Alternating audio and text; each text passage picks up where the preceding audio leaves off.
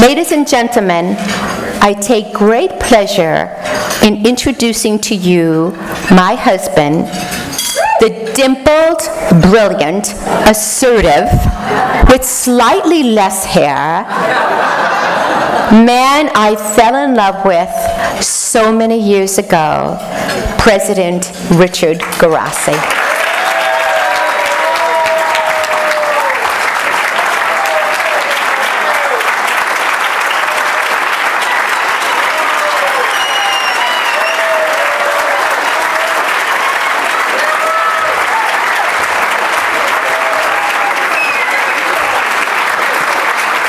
Thank you.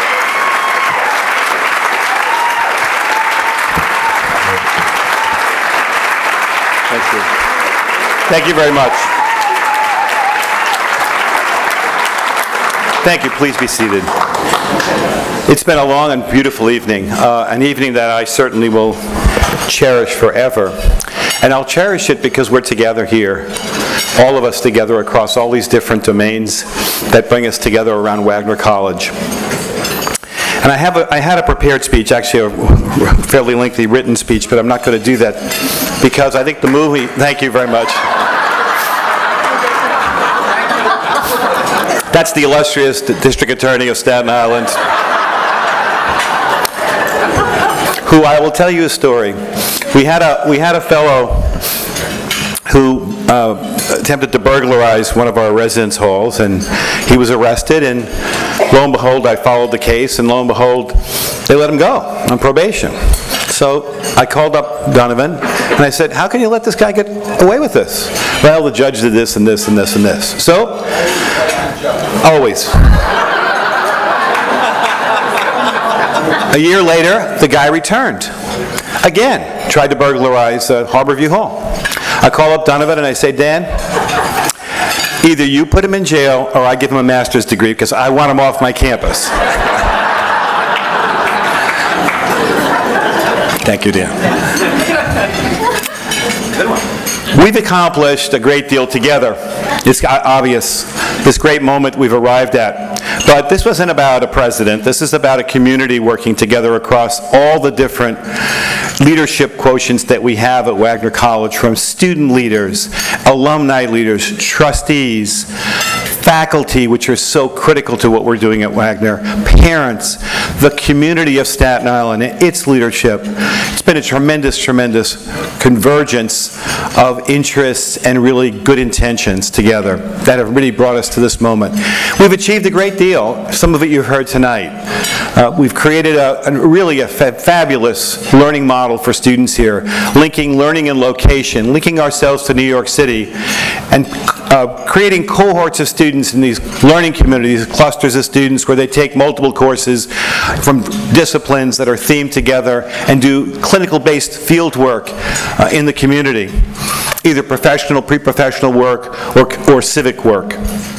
And that has been a model, as Carrie, uh, Carol Geary Schneider wrote about in her piece, that I hadn't seen. I hadn't seen any of this tonight. I want you to know this is a total surprise in terms of speakers and the like. But we built that model together. The faculty was at the center of it. Students have been champions of it. We, we helped this college achieve, for, for the first time in its history, significant financial stability. We did that together by growing the endowment, smart budgeting, very, very clever investing in terms of solid investing, good principles. We brought together a national student body from 44 states, 20 countries. They're just remarkable. We have more students from California than we have from the other four boroughs combined. 85% of our students live on campus for the last 10 years in a row in the first year, and about 70% overall. Uh, we brought together eight graduate programs and 350 graduates. The entering freshman class at Wagner this year, the students that just appeared on our campus this fall, no exceptions, their composite high school grade point average was 90. So we've just brought this tremendous group of students together.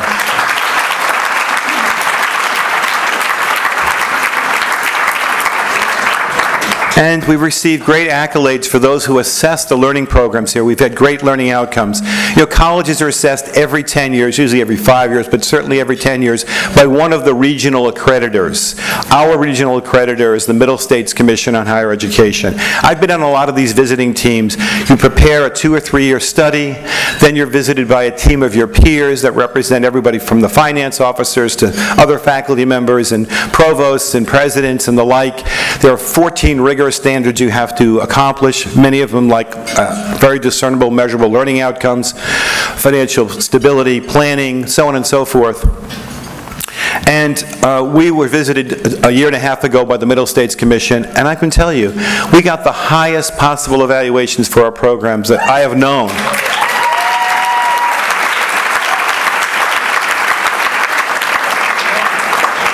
In some of the pre-professional programs were reviewed by also other accreditors in addition to this national accreditation. So the National League of Nursing came to, to assess our nursing program.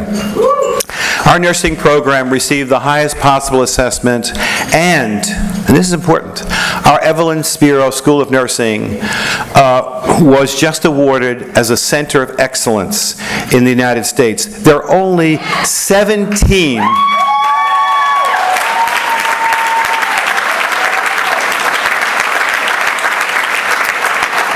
There are only 17 such. Think of all the thousand of nursing programs that exist, many attached to major research universities and hospitals and, and the like. Only 16 others. And this nursing faculty does this in a building that was built originally as an, in 1956 as a men's dormitory, built on the asylum model of architecture, I want you to know. And in spite of that facility, they perform at a level, a standard of teaching and a standard of care far superior to the physical obstacles they face. They are remarkable. They truly are.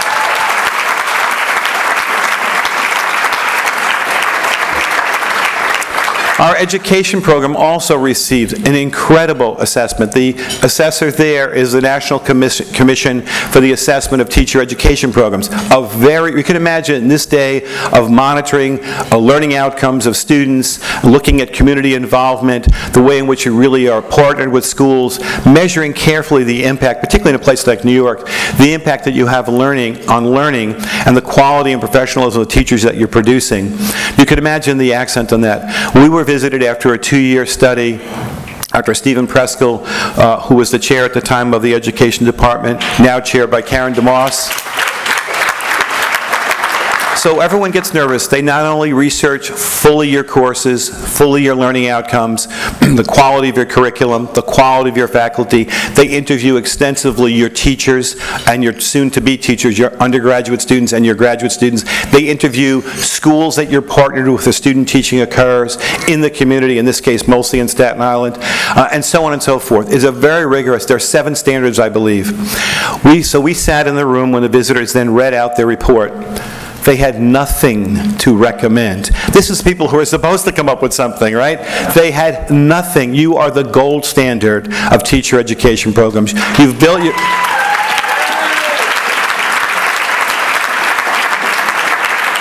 And as Karen, as Karen DeMoss will tell you, Stephen before her and the members of that department, they're not just producing teachers, which would be a far, far, far wonderful thing to do. They are producing change agents and leaders for schools. And this is what uh, K through 12 education desperately needs. These are youngsters who come to Wagner and they learn what reflective practice really means. How to link theory and practice, classroom and field, text and experience intimately. And they have become really role models for much of the other faculty as well in terms of pedagogical issues and other issues. So those are just some of the assessments of the kind of learning outcomes that we have built. We've also re-enchanted our alumni to have pride again in Wagner College. They lost that for a long period of time, but they now have deep pride in what we do every day at Wagner, not just because it's a bigger brand name where we have a great basketball team and a phenomenal theater program that you've seen tonight, but because they believe in the quality of teaching and learning that our faculty and students are engaged in, and the kind of commitment we've made to civic engagement. And I'll, I'm going to explain why civic engagement is so important for our students. Because this college was founded in 1883 as a Lutheran seminary when five ministers got together to do something in support of immigrants in Rochester, New York, with the seminary where they, where they were living. And they formed a seminary, a high school seminary. Thought the best thing they could come up with was to create more pastors to care for people. And think about 1883. It's the year the Brooklyn Bridge goes up, but it's also the industrial corridor from Syracuse across to Rochester and Buffalo, all the way out to Cleveland and Detroit, uh, which was really the engine in post-Civil War period that fueled the kind of industrial base that established the United States as the uh, most uh, advanced economy in the world just a few generations later. So they wanted to care about them, and they believe that you should use knowledge for service, to take care of other people, leave the world a better place. And Reverend Sutter brought us down as one of their graduates who became a minister and um, pastor of a very rural church in Staten Island, Trinity Lutheran Church. And he said we should become a liberal arts college. There was no room uh, in Rochester to expand. They had no capability of expanding. I want to tell you, I went back to Rochester on the 125th anniversary to the site of where Wagner College was founded. It is now a gas station with the meanest dog that you ever want to see. So. We're not going back to Rochester, even though we love Rochester. I lived close to Rochester at one time in my life. But we were brought, we, the notion that Reverend Sutter had, and we came down to a very rural Staten Island in 1918 and became a college in the 1920s and certified by the Regents as, a, as an undergraduate institution in 1929 and co-ed, by the way, in 1933, which was way ahead of its time in, in, in the Northeast. Uh, we came here because the charge was to become a national liberal arts college. The first lay president in 1935, Clarence Stoughton, believed that we should become a national liberal arts college, linking together knowledge and service of others. So this was a critical value. And for us at Wagner College now, all these years later, with pre-professional programs and liberal arts programs that are linked intimately together around our curriculum, where students learn to take the best of those worlds, that's why we call it the practical liberal arts, using your knowledge knowledge for social purpose. Our students are engaged in learning more about the disciplines they're involved in, while also engaged in good work with partners in our community on Staten Island and Brooklyn and throughout New York and around the globe, as I'll tell you in just a second or two. So that's become a marker of the way to learn, not just a civic value in and of itself, which would be remarkable, but also a way of learning and learning how to use knowledge. So whether our students are going into business, 22% of our undergraduates major in business, which is the national average for undergraduates. We remind them that they're committed to investors and consumers and the general public as well. Or if in the arts, that they're committed to their audience and their texts. Or if they're in the helping professions, obviously with parents and students or patients and families. Or in any of the liberal arts in the, in, in the humanities, that there's a public or publics that count on them delivering what they do well with high integrity at high levels but also in support of advancing human potential. So we've created that kind of an educational program that's civically bound. We've done lots of other things. We've helped restore, together as partners, we've helped restore some of the beauty of our campus where it was lost in Main Hall and a few other places and adding a new building. But that spectacular campus on the New York Harbor, and when you look at that harbor, you realize that the whole history of American democracy, its incredible openness to commerce and innovation, its openness to diversity, and its willingness from its very start as a Dutch community to, to democracy and democratic participation was what founded this, this great city, and that's what we, we live that legacy every day. We prepare people for leadership in our communities and in their professions every day to live out that legacy which is written on that river. So we've, we've accomplished so much, but today higher education faces some very real hard choices. Some are really obvious in front of us. It costs too much money, affordability, maintaining access, and also accountability to make sure our students are really learning what we actually say they're going to to learn and able to achieve the kinds of values and skills that we say in our mission statement, proving that every day, as I, as I indicated through some of our accreditors. That's the key mission, finding ways through increasing the productivity of the campus, through using new social media and technology, but always being a campus-based personal learning experience. Where, if not on a campus, do students learn how to negotiate diverse kinds of personalities, persons, and ethnicities and races? Where else but on a college campus in the co-curricular program do students really learn about leadership? Where do they really have the opportunity to develop an international perspective, a respect for the arts, an understanding of the relationship of the scientific world and natural world to everything we do every day? These are things, where do they learn to be civically responsible, what it means to be an engaged student, and how leadership and service go together intimately in our country, unless we do that on a campus. So we are going to address issues of affordability, access, and accountability within the realm of what we do well, which is care about students deeply, provide them with a deep learning experience, and use the new technologies intelligently to enhance that program. But the other set of challenges we face, we face it as a nation, as a democratic nation, and we face it as a college that's committed to democratic education, prepare students for democracy and leadership.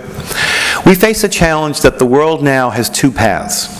One path affirms ignorance, hatred, intolerance, fanaticism, terrorism. That's a path. We see it every day. And no country and no culture holds a monopoly on that. There are no borders for that. That exists everywhere around us. And the other path is the path that celebrates reason and logic and evidence and perspective and empathy and compassion. It affirms life and affirms human possibility. So in this world that we're sending students out to, they need to understand their global perspective of how things fit together and how we use the liberal arts to liberate people from being simply prisoners of their own experiences, which is the hotbed for prejudice and the hotbed for hatred. Learning students learning how to be outside of their cultures, outside of their hot time periods historically, engaged in the world of science and the natural world around them, that liberates them. That's why it's called liberal arts. It liberates the person from being simply a prisoner, restricted to their own immediate experience, but learning deep and wide what it means to be cosmopolitan, to understand the cosmos around them. So that's important, and we are prepared to engage in that kind of learning as we now begin to link our courses with similar courses around the world. So students learn intimately together across time and space through the use of new technology. The way in which we link communities together, the way we involve our students in the diverse communities of New York in this phenomenal partnership we have on Staten Island with Port Richmond, a historic community, the center of commerce at one point on Staten Island, which is now a community, an inner city community challenged in so many different ways, made up of 60% Latinos, mostly Mexicans, mostly undocumented, 20% uh, African Americans lost in the cycle of pathology of the inner city world with a lot of hopelessness, and, and about 20% of white ethnic New Yorkers from all sorts of places, middle class and working class. We've pledged ourselves to work with that community, linking our courses with the destiny of that community, learning, uh, teaching our students how they will increase their understanding of what it means about how to build a business plan, how to understand inventory and market analysis, and all the things you learn in a business, in a business uh, curriculum, and help that community, with that community as true partners, be able to develop small businesses so that community can get a greater chance of having control of its own destiny. There are a lot of folks in that community who are dying to be part of the American dream and trying to be part of the New York idea. And so we are so committed to that.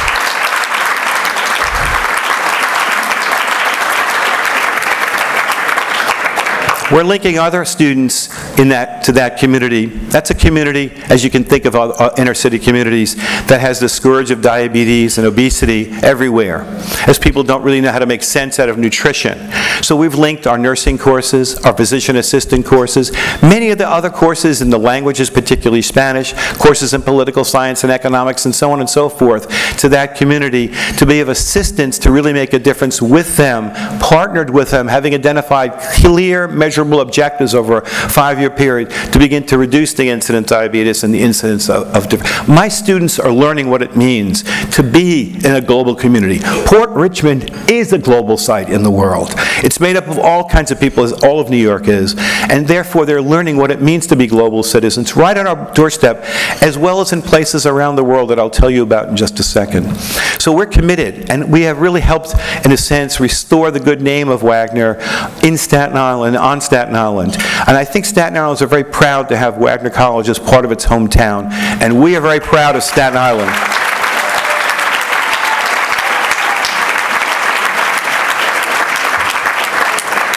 So we're trying to build a new building, a Center for Global Learning, which we think will have the latest technology of ways of linking learners and teachers on campus, across campus, with our local community, and across the globe in any moment in time and space, preparing students to be the kind of civic leaders that we need. Because we need to graduate, and we are graduating students at Wagner who are prepared for, to face those two dilemmas, a world of ignorance and hate, or a world of human potential, prosperity and innovation, and justice and compassion. And that's what we do at Wagner. That's what we do every day. Let me tell you just a few stories before I leave. Let me tell you about Leslie McDermott, who graduated in 2007 in the nursing program, a very strong student in the liberal arts and in our nursing program. She works now here at New York Presbyterian Cornell Weill Center in the burn unit. She's won all kinds of awards from the fire department. She's only 26 years old. She's published as an author. She's going to be leading a wing of a hospital or a burn unit in some major institution somewhere in the world. She volunteers her time in Tanzania to work with burn victims in her free time there.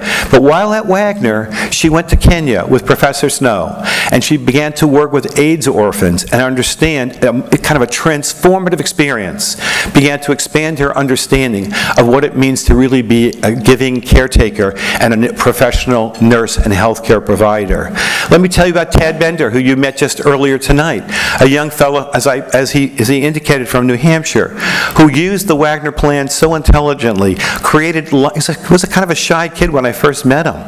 And he came and he got actively involved on campus, formed lots of, of, of campus organizations, became the student government president, one of the most intelligent and, and, and erudite ones we've ever had, set a whole different standard for student government presidents since then. And he went on, he internship with Bob O'Brien and others at Credit Suisse, and now he's a rising, rising star, I think, in the world of finance. And he brings an incredible amount of personal integrity to everything he does, as well as a very strong worth ethic. He learned that at Wagner, and he'll tell you that. And I can tell you about so many other students. I want to tell you about Jarrell Joseph, who was a young African-American student who came to us to play football. We have a Division One athletic program. He came to us as a defensive back. He just had that leadership gene. He just needed honed and developed. He got active in all kinds of activities on campus in addition to athletics. He interned with Price Waterhouse Coopers. He's now one of the rising stars. He'll follow Jay Hardig, who's one of the great alumni of Wagner College, who was a superstar in, in accounting and in the world of, of accounting and, and, and, management. And I can only tell you how proud I am of, of Jarrell. I want to also tell you about Ashley Steed, who came to us, graduated in uh, 2009 with an undergraduate degree, and 2010 with a master's degree. A young African-American woman. Her brother was killed. He graduated from Wagner as a great, great young man, as a football player. Uh, he worked in finance, and um, he was killed prematurely uh, in a car accident, just starting his career, and Ashley, his sister, was in high school. She received a scholarship to come to Wagner. At Wagner, she dedicated herself to really uh, a, a, level of grace and sophistication in learning as well as in the way she presents herself that was so remarkable. She helped start the Nubian Student Association, and it became a force of great positive change on our campus. She volunteered with Habitat for Humanity, went down to New Orleans to help rebuild for, for after Katrina. She helped work with Habitat for Humanity in, rebuild, in building homes for, to make them affordable for people in Brooklyn who couldn't have a decent place to live. She did adult uh, training for folks who are trying to get their GED degree. She's now a third grade teacher in Harlem, and she is a remarkable young woman, preparing other generations of kids who don't look like they have a chance to get a chance the way she did and really make a difference in the world. And there are other students I want to tell you about. I want to tell you about uh, Taylor Wheaton and, and Charles Nicholas. They were students in chemistry at Wagner. And Taylor particularly was very committed. She worked with Professor Muhammad Alauddin and Professor Nick Richardson, who here's tonight, who mentored her in chemistry. She went to Bangladesh with Professor Alauddin, and this was a moment of transformation. She not only was so taken aback by working in a culture different than her own, but she was there to help solve a problem, the practical liberal arts, to solve a problem of arsenic poisoning in the water supply. What things could they understand and come up with that were useful and practical for people? And they've made tremendous success on this, in, in addressing this problem in Bangladesh. She came back to Wagner, did lots of other volunteer work. Charles was heavily involved. Excellent students, both of them. They ended up both being accepted to medical school at George Washington University. Our former, uh, our alum, Alan Goldstein, is here with his wonderful wife, Linda, tonight, graduated in 1959 from, from Wagner. He became the dean of the medical school at George Washington University. And here we had these two youngsters who got themselves into George Washington University, and they just now are starting their residency, having graduated from the medical school, taking their place in the medical professions, bringing the same core values that Wagner celebrated from 1883 to today. Leadership, service, achievement. That's everything we've been about. And they just got engaged. Happily to each other.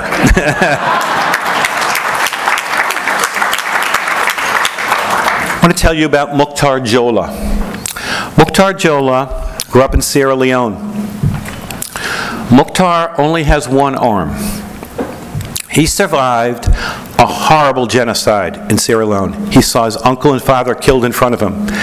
He had his arm hacked off because he could read and write, and the fanatics that were trying to take over his country wanted to destroy anybody who had the ability to read or write. He fled through the jungle, survived his wound somehow, was taken in by various shelter groups.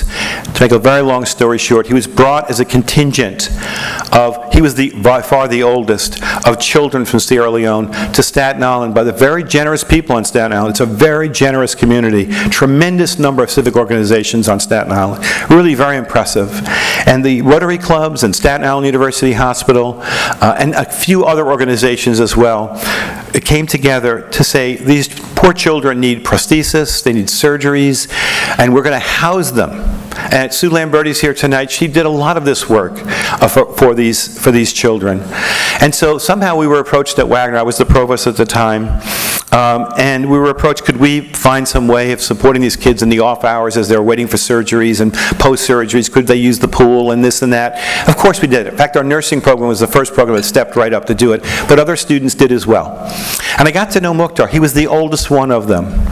And he knew a little bit of English, and he asked, could he take a course, a college course? He didn't want to give up learning. So I think he took a course with Professor Groth. I may have this wrong, but I know it was a psychology course.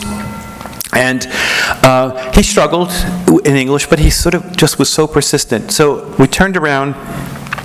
Six months later, we said, We're going to give you a full scholarship to come to Wagner. He came to Wagner, he prospered. We offered him, after one year, a scholarship for his room and board. He said, I can't accept this. I said, why not? He said, I live in a house with three other genocide victims from Sierra Leone. I'm the only one with one workable hand. Okay? So he went to Wagner, he graduated from Wagner, he now works in Brooklyn as a social worker in a hospital in Brooklyn. And his goal with his friend Koo, who's now in our master's, our MBA program, getting a degree, an MBA with a specialization in um, healthcare administration, and his sister, who also came to Wagner, we sent for her, and she came from Sierra Leone. She has a nursing degree. They want to go back to Sierra Leone at one point and start a clinic. These are the kinds of graduates that we have at Wagner College. I have just a few more I want to tell you about. Because this is what we've done together. This is what we produce at Wagner College. We have with us in the audience uh, Katie Jo Yunkins, who's a young student who uh, went to Israel for a year. We started a program with Hebrew University in International Relations, but we said we're going to do it the Wagner way. Hebrew University didn't know what the heck we were talking about when we asked them to do this, but they're the Harvard of Israel, so they were more focused on other things. I said, if our students go there, they have to do civic engagement work with some of the communities they're involved with. The wonderful Jewish Community Center was the sister organization of a community just outside of Jerusalem called Pisgat Zev. So Katie Joe and everyone who's gone to this program since worked with the community members of Pisgat Zev and teacher education, mentoring, all sorts of things that they needed, and came back, of course, and then worked with the Jewish community. She's not Jewish, by the way, and came back and worked with the Jewish Community Center here. She graduated last year. She's in her, MBA program this year, and she's applied for a Fulbright, which I certainly hope she gets. And her goal is to study the, uh, the international financing structure for terrorism in the Middle East. These are the kind of people that we're graduating. I want to tell you just about two more. One is Samantha Siegel. I don't think in all of my years I've ever met students who rival the 1979 graduates, one of whom you met from St. Lawrence. But Samantha Siegel's there. Samantha's here tonight somewhere. Don't leave this room without meeting her. She's here with her wonderful boyfriend, Chris Foreman, who's also a Wagner graduate and our golf coach as well as on our admissions team. So Samantha used every inch of the Wagner plan. Samantha Siegel came to us from New Jersey, wanted to be a teacher since she was a little kid. She came to, uh, I met her, she came to my house, we had an honors tea for honors freshmen. A, a bit of a spitfire. I said, there's something, there's something here. I mean, she can kind of rub you the wrong way when you first meet her. But, you know, this is Wagner, and we're going to even this out. But there's an intelligence there and a fire that's really worth developing. So Samantha, uh, first of all, she fell in love with psychology under the tutelage of Amy Eshleman. Professor Eshleman is here, Dr. Larry Nolan. And uh, she just fell in love with psychology, but she also fell in love with education and teacher education. So, what did she do? Three different terms she went to Peru and worked with autistic children. All right? That's a struggle. Working with autistic children is a struggle. Working with them in another language is even more of a struggle. She's bilingual, but that is really a challenge in a different culture. Three different times. She then went to Kenya to work with the AIDS orphans as well. Tremendous impact on her life. She, she double majored and did honors, psychology, teacher education. She student taught uh, in a school in, in Staten Island and got so attached to her students that when she was finishing her student teaching, she got a little weepy and she thought this was incredibly unprofessional and they shouldn't see her get so, you know, emotional about leaving. And one of the students, actually a bunch of the students said to her, it's okay, Miss Siegel, you can come back and visit us. And then you don't have to teach us math either. So Samantha graduated. She received her master's degree in education. She's going to, one of her dreams is to start her own charter school with these same values that I'm talking about somewhere in, in the United States. Uh, we also think she may become a college professor, but she will be leading something significant before her day is done. She is a remarkable young woman and just a tremendous leader. She's joined by Kevin Ferreira, who's at my table, who's a senior. This is one of the most remarkable young men I've ever worked with. He's a senior. These are two like deans I have on my campus who happen to be students. Um, Kevin has introduced us to the immigrant community uh, in Staten Island and Port Richmond. He really was the pioneer. He worked with El Centro del Inmigrante, which, is a, which started as a, a, an organization around justice for undocumented Mexicans who were being hired as day laborers and not paid, things like that. Taken to New Jersey to work on someone's garden, and they would just dump them on the highway, and they have no documentation. They can't get caught by anybody. So he, that group started, and he started working with them. He is also bilingual. He spent a year in Costa Rica before he came to Wagner. Uh, and uh, Kevin, I had in my my in, in our, my freshman seminar, I have an honor seminar I teach on Darwin, Marx, and Freud. It's very difficult. We read the original works. It's a pretty difficult seminar. And Kevin struggled with that seminar. He was very bright in seminar, but he had difficulty with some of his writing. He's gone on to be a brilliant student. I mean, a truly a brilliant student. But he got involved with this work. I think the work in civic engagement really turned him around. And he turned us around. And he really came a commitment to this one organization when he has this so much more than just Stand for Justice for undocumented workers. We're doing all kinds of mentoring and tutoring programs in that community. And he works closely with Professor Margarita Sanchez, who's here tonight. From our Spanish department. He also, he, he hopes to go to graduate school next year and uh, study uh, in urban development to put a larger frame on it. And he will make a difference in cities uh, somewhere in the world. He's a remarkable young leader. And those two are leaving a cadre of young students, some of whom are here tonight, uh, training behind them other leaders who can take responsibility for some of these programs. Students like Molly Delbridge from Irvine, California, who's here. Morgan, Morgan Grubbs from North Carolina, who's a junior. Uh, uh, Jared Leff from Toms River, New Jersey, and Kelly Griffiths from uh, just outside the Hamptons in, um, in Long Island.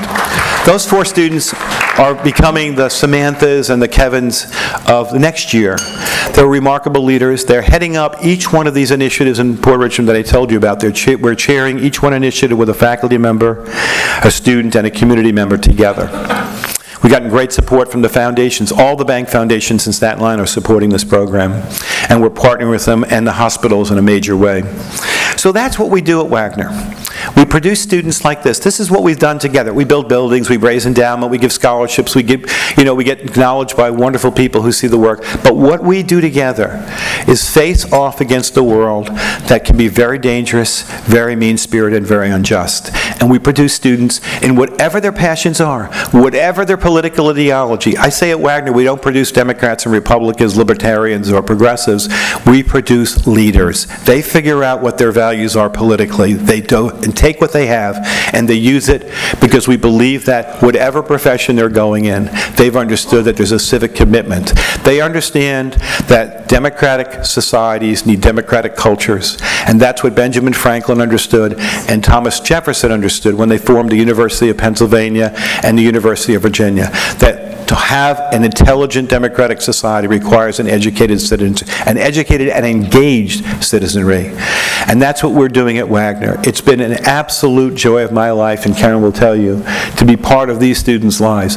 And our collective legacy is written in their biographies, what they do with their lives. The twinning, the inter, interrelating of these generations together here tonight is so central because together, your work, their work, their futures, your accomplishments are leading us to a much better place. And really, Wagner has become a beacon of light and hope in the world. Thank you so much for this evening.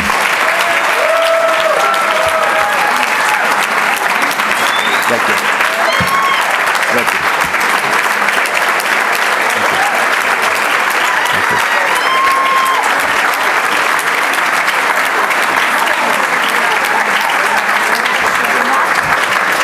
Good job. Thank you. Thank you. What do we got now? Let's let Dianne go first. Okay, okay. You don't think you're going to get away with it? Not leaving. Not leaving yet. Okay. Karen and Richard, as you know, planning for this event has taken place over the past year, and many joined in the effort. The enthusiasm brought to each meeting was palatable, and tonight's extraordinary success is because of the love and respect of the folks have for you both. Thank you. Thank you. The profits from this evening's festivities will go forward the funding of your dream of a cent, for the Center for Global Learning. So there is no formal gift, but rather a naming opportunity down the road. However, you know the three girls who spearheaded the committees. We're not going to let you get away with that. A naming opportunity down the road. Um, We felt you needed a memento of this wonderful evening. The hugs, the love, again, are palatable, but you deserve every one of them. Please enjoy this clock as it measures all the many hours you both put in to Wagner College to make us shine and your dream for the Center for Global Learning. No matter how long it takes, that will measure the hours, and all of the bridges of New York are on the clock.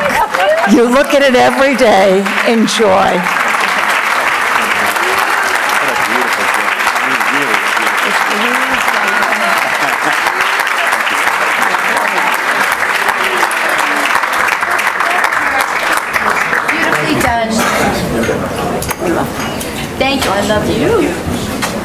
Beautifully done.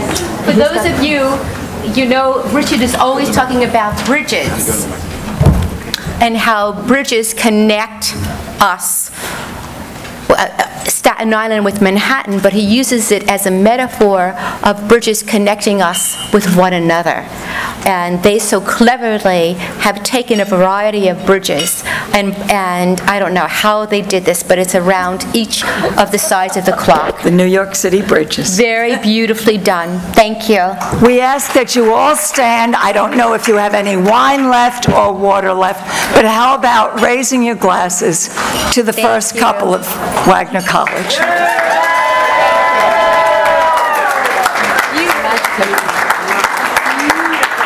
Let me just say, before you all leave, as Dick Hirsch taught me, my former president, any one of you could have your name on that building.